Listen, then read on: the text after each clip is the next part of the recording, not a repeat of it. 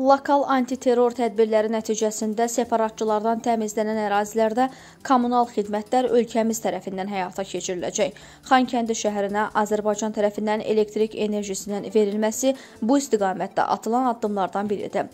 Bunu Xəzər TV-yə açıqlamasında millət vəkili Naqif Həmzəyev deyib. Millət vəkili bildirib ki, həmin ərazilərdə kommunal xidmətlərin tam qaydasına düşməsi üçün zamana ehtiyac var. Çünki əvvəlcə reinteqrasiya prosesinin yekunlaşmasını gözləmək lazımdır.